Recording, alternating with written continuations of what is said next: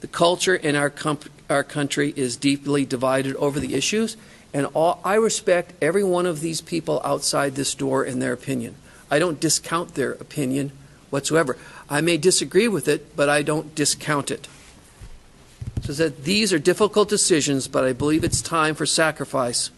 Thank you for your time and all your hard work through this virus. So that comes from Marla Lake. Dan. Thank you, Mr. Mayor.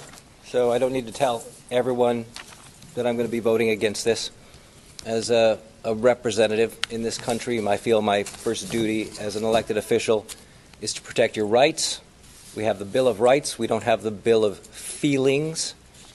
And I know that's really tough. There are certain risks we have to take to live in a free society.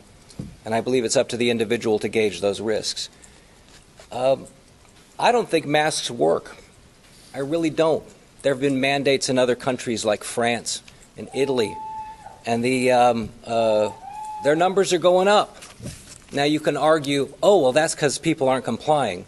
And I can argue that's because masks don't work. We have experts here that came and talked to us just earlier, and they don't understand how this virus works. No one does.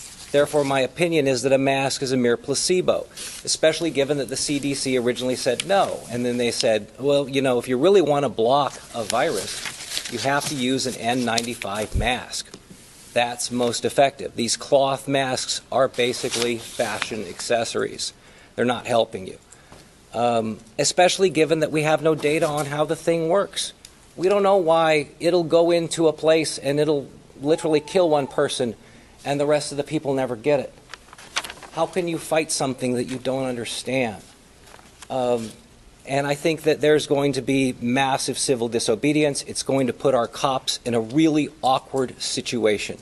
And I, even though the chief, I think he was polite, I don't think that direction has been given on this because if you people were really serious, first of all, you'd mandate N95 masks you would mandate a proper disposal method for the masks if they are truly contaminated. And you would also uh, mandate that there would be uh, adequate enforcement of this. And you're not. So, therefore, this is just a political game, and I will not participate. Thank you.